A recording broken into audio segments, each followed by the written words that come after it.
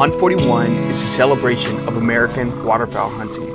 The 41 species of ducks and geese are the roadmap for us to tell the stories of the various regions, styles of hunting, and most importantly, the people that are representing this great pursuit of ours. This is the original series, The Chase for the 41.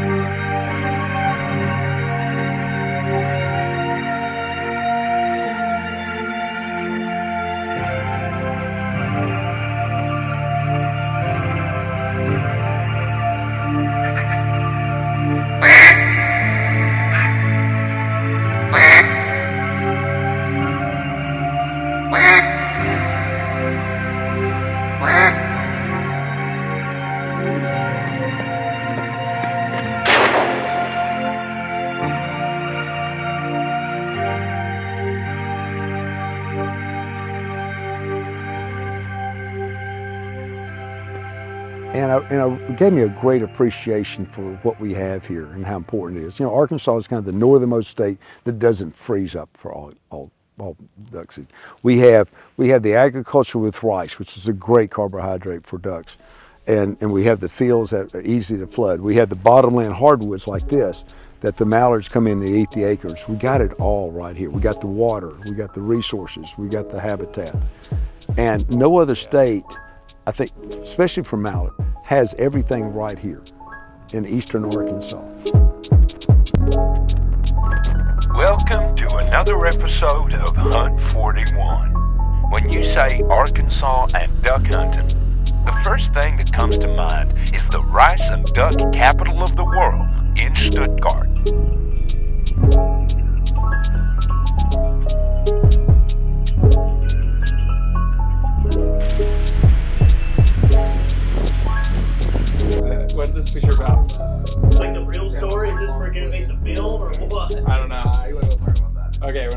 About that, Gavin. Something happened there. When you come out, you gotta you gotta run. Well, uh, we have buddies. Yeah, every your call. Your little holder. Every single day I throw a call every day. Like,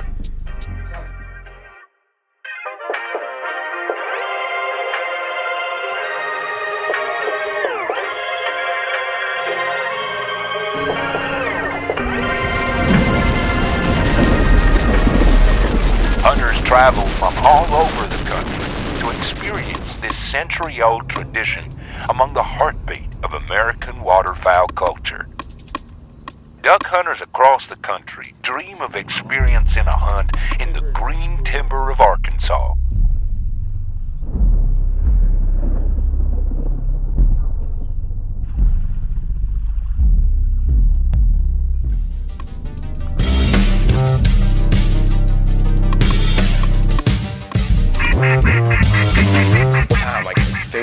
They would it in a tight hole. They would hit over the hole and just break their backs and just start backpedaling, just like 90 degrees, just straight down like this. Every group would just be like this.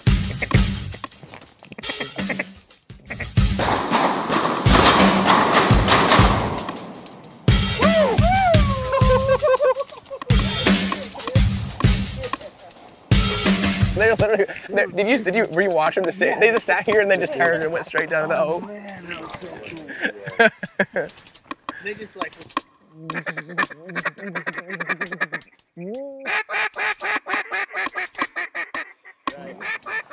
Tony, getting the mallard on the mallard strap.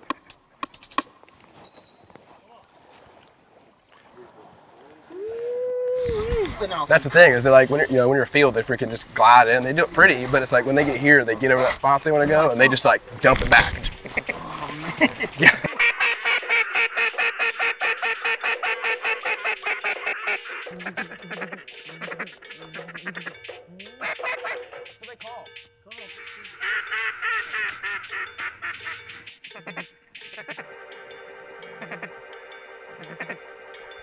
Today is the- is the hottest, and then tomorrow it starts dropping back down to like, I want to say, uh, like Thursday night is like the, the low is like 30. Yeah, like I said, I had no intent. Like at college, like a crappy junior college in Memphis, no plan whatsoever. Like I was just going to school. I was always the guy with a cell phone taking pictures of people doing stuff or holes or whatever else, stuff like that. And then just got a camera for fun and then just posted stuff on Instagram, like not trying to do literally anything with it at all. And we were already doing this, and then I just met another guy that wanted to hire me to do stuff in the same setting, doing the same exact thing. It just worked out, you know, worked out perfect. Like in a transition from a week, I went from like, oh, this is like someone's actually paying me to like video some hunt stuff, to all of a sudden it was like, go out to the woods, do the exact same thing, make money doing it, sometimes get to shoot.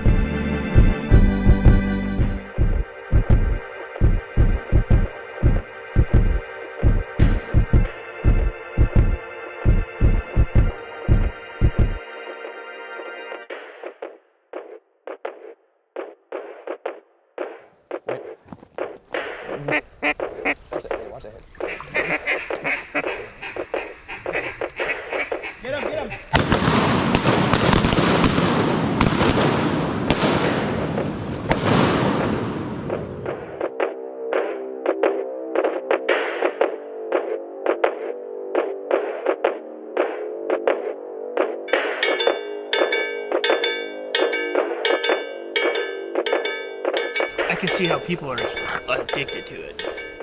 After that, Right. how they decoy in like that. For sure. You always get everybody like, oh, you gotta go to Arkansas, you gotta go to Arkansas. I get it now, you know? Yep. Like, it's just like a whole different level. Like, now you know why guys go crazy.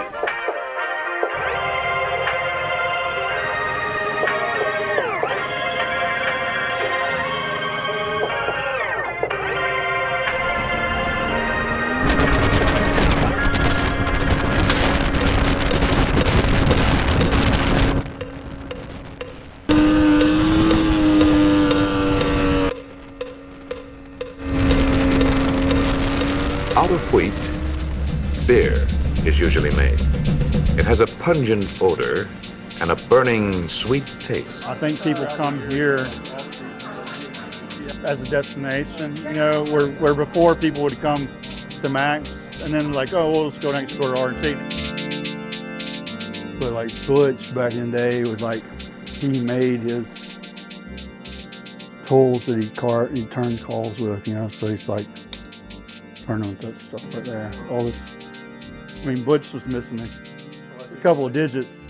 The story goes, he like showing someone how he lost the one on the bandsaw and lost another one. Like, uh, I, I don't know what the truth is there, but it doesn't sound good. This is the Jay Stevens call workshop. I, I mean, that's what I would call it. The Jay Stevens stuff is really, that's his, inside his head, that's his brain child there. And I, it's been building for years. So, I mean, he took R&T over from Butch, but he never wanted to take over the style or the shape, re- redo the shape of the call because of Butch. You know, like so R&T was like Butch started in '76, so John came around in '99, and um, he wasn't gonna jump in and start.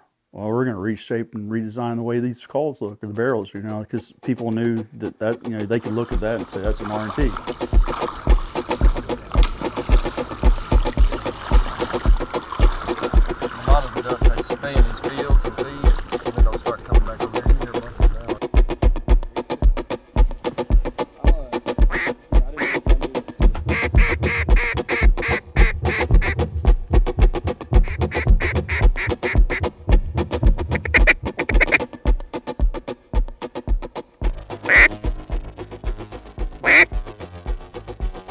You can just flip through like books and look at old photographs like of these old call makers and see where John has borrowed bits and pieces of design elements and made them his own. That's art, and there's no original ideas. You, get you're influenced by something, something like turns your crank, and then you're like, oh, it, it, turn, it makes a spark, and then you're like, I'm gonna make that long.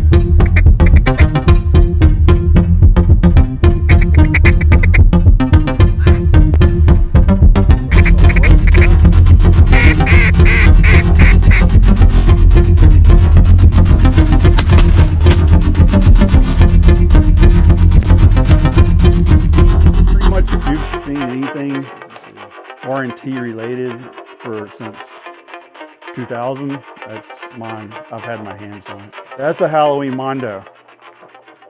you know, check your calls before you let your kids blow them. John's like, nope, can't do that. It's like, come on, dude.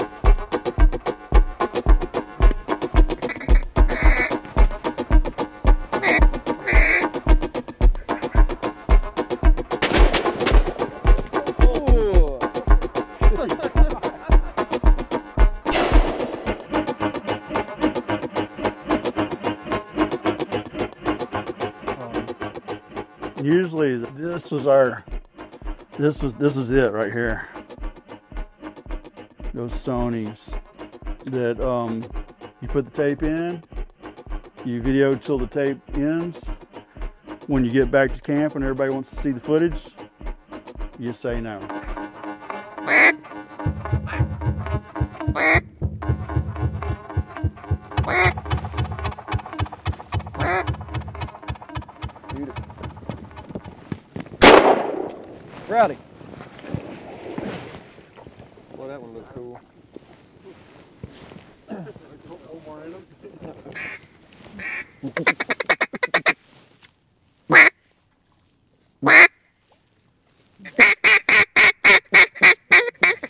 Blake wasn't even a cameraman when we hired him. That's the cool thing is that he's, I mean, he's done a bunch of stuff, so he's uh, he's had to learn to wear a bunch of hats, you know, do a bunch of different things besides. He, he knew a little photography, but I'm saying you've gotten a lot better probably since you started, didn't you?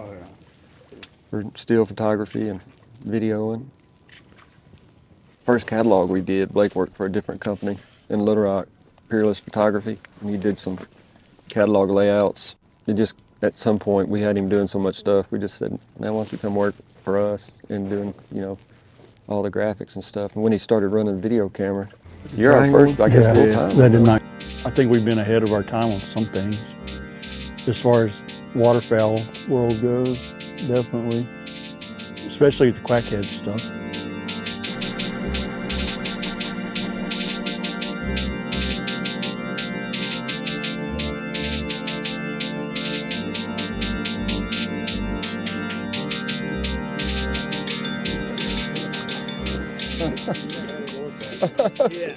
Well, that's, man, I got friends that shoot a 410 and kill one at treetop and kill it dead. And I mean, that's that's a skill. There's no doubt. That, and there's people that I, I don't I don't hate on them at all that you know like to shoot them high that kill them. I mean, Yeah. that's just their thing. It's marksmanship. Ours is just trying to see how close you get. You know, that's to me that's what's fun. Uh,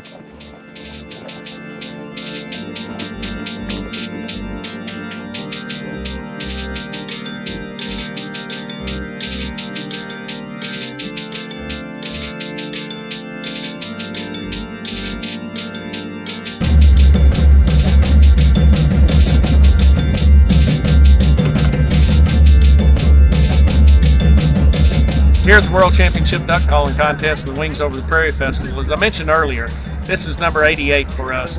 We hope to do for another 88 years. Behind my shoulder, you'll see all the companies that, that deal with duck hunting and, and the duck hunting industry. They want to be a part of this festival because they, know that they've got duck hunters from all over the United States. They come into town to duck hunt, but they also come into town to listen to the world champion duck callers uh, vie for that championship trophy all these guys and girls behind me, they're all enjoying themselves here in Stuttgart, getting a chance to hunt some of the timber and some of the rice fields around the town here, uh, coming out with ducks every month. So it's great, great time to be in Stuttgart, great time to be in Arkansas, and be a part of this uh, World Championship Duck Calling Contest.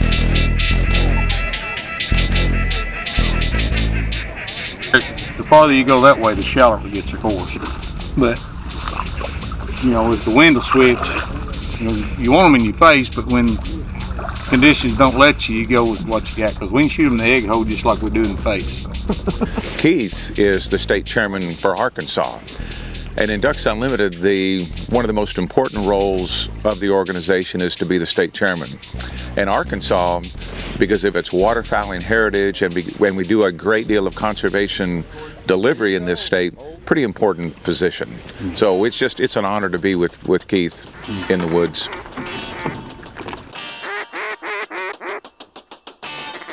Kill. Duck. Kill.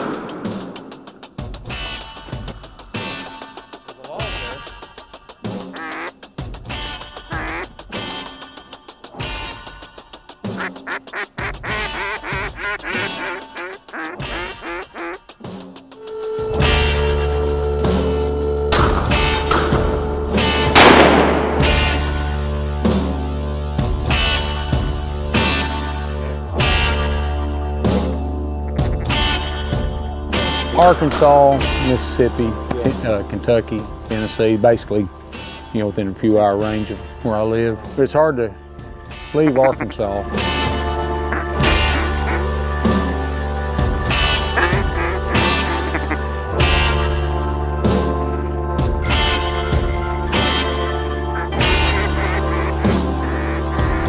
Once you taste that perfect, brisk, sunny bluebird morning with a little wind, the show is on, watching greenheads majestically fall through the timber.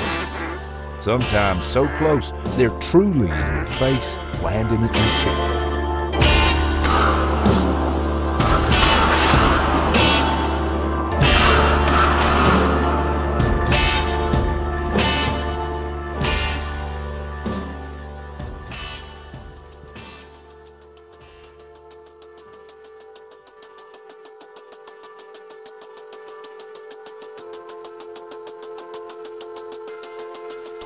You can kill a lot more ducks.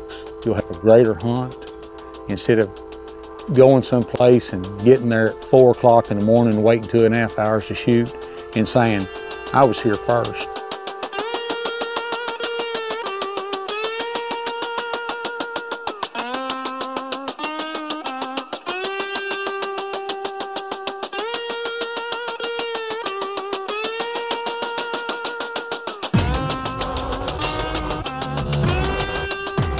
The majority of these people have been coming here since 1960.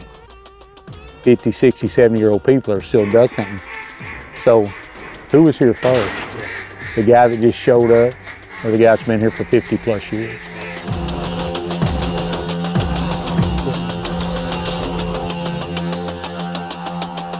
What's left of us old guys, we go every day whether we kill a duck or not, and then because there's going to be a day that they're here.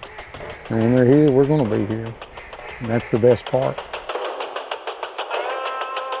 Watching a mallard come down through the trees, dodging limbs with perfect accuracy, is a sight to be seen at least once in your duck hunting life. You know, I've been I've been a volunteer since I was 18. I'm 59 years old.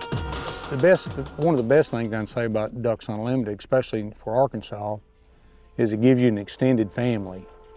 You know, the, the, the social atmosphere of your of the extended family, and and uh, basically anywhere I, I travel in Arkansas, I know somebody in that county.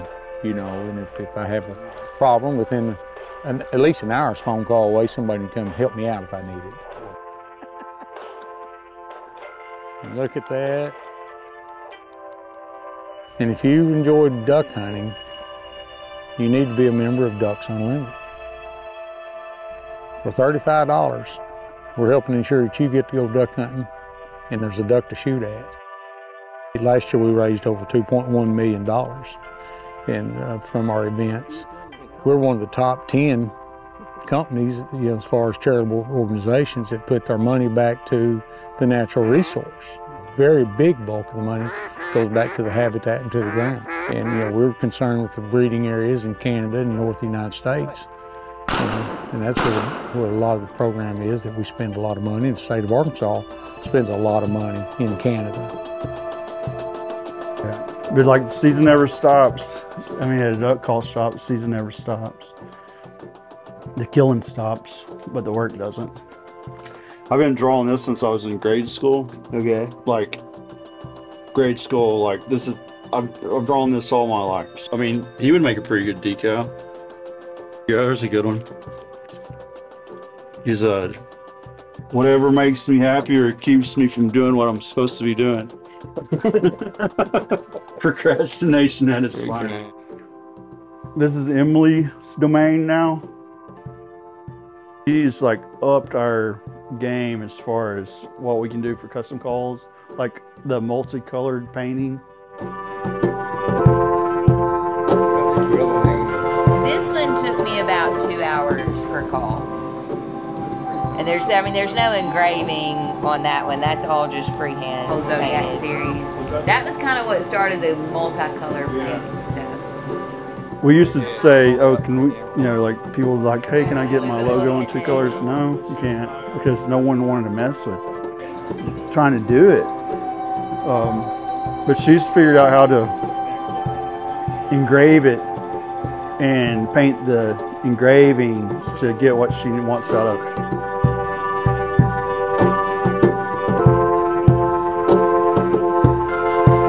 And no other state, I think, especially for mallards, has, and I know because our, our kill numbers represent that we kill twice as many mallards as anybody else, and not more than that, has everything right here in eastern Arkansas. Uh, That's also a great responsibility.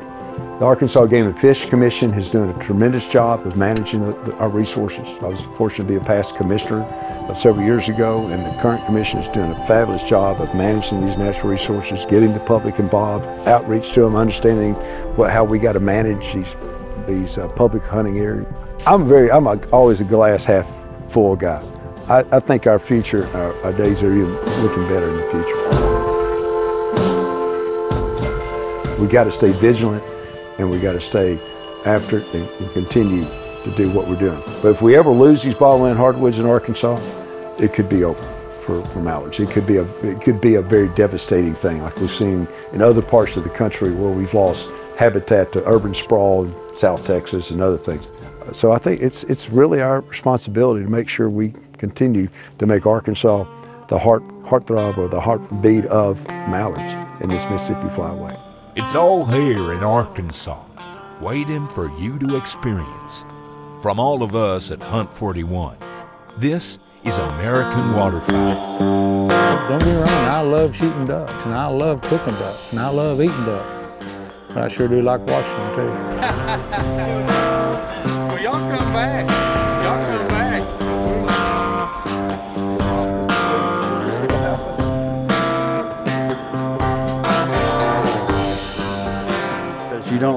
Rewind the tape and show them the footage because the chances of you recording back over the tape are very good. And uh, I never did that. I never did.